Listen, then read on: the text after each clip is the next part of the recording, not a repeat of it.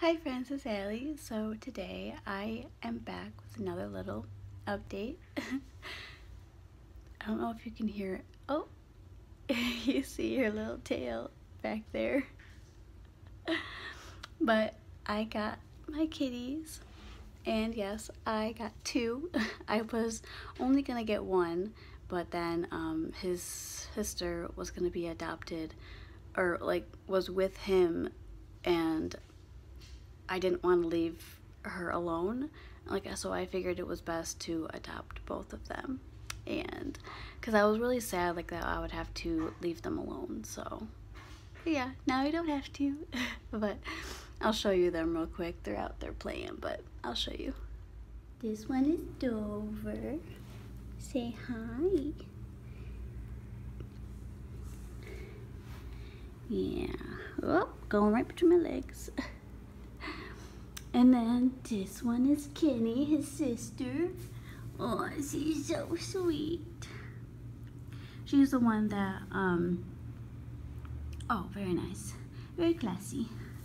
but yeah, we have just random toys out there for them. We have a box over there and a box right here. Just something else for them to play with because, of course, they love their bags for some reason.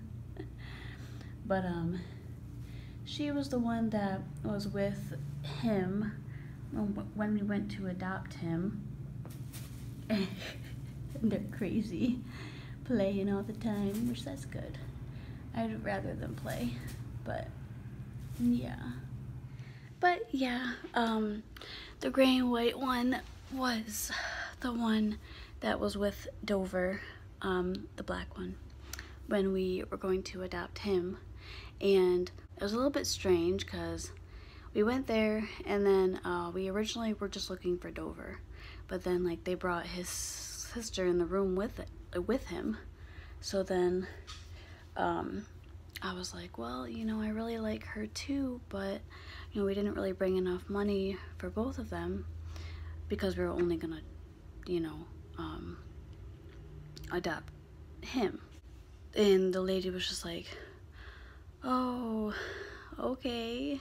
Like she kind of like was a little bit like weird about it.